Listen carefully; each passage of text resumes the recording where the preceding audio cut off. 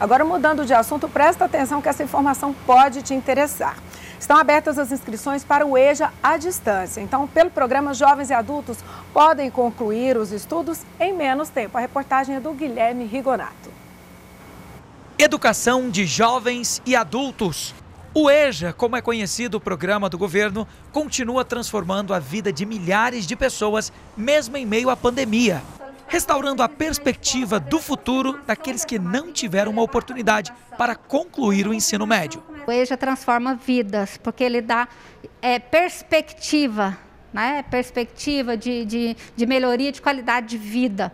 Né? Que se você melhora seu salário, se você só tem o ensino fundamental, passa a ter o ensino médio, sua expectativa salarial aumenta e a sua vida também melhora. O programa que já atuava há vários anos na modalidade presencial ganhou desde agosto de 2019 a possibilidade de ensinar jovens e adultos à distância em caráter EAD. É uma oportunidade única agora, nessa época de pandemia, de você cursar o seu ensino médio fazendo a EJATEC. E quem já está na EJA presencial, fazer a sua rematrícula, né? A gente fala rematrícula, fazer a confirmação da sua matrícula no semestre seguinte.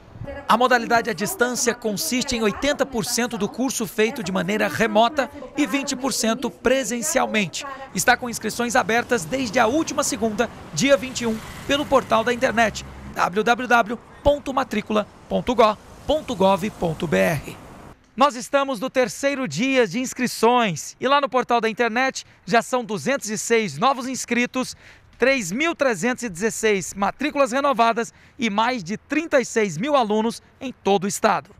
O gerente de educação à distância, Divino Alves, fala sobre a grande mudança que é produzida na vida daqueles que conseguem concluir em um ano e meio todo o ensino médio.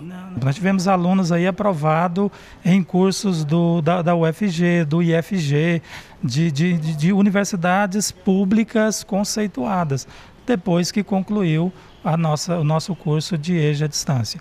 Após feita a inscrição online, é preciso levar toda a documentação entre os dias 2 a 6 de agosto para confirmar a matrícula e iniciar um novo recomeço.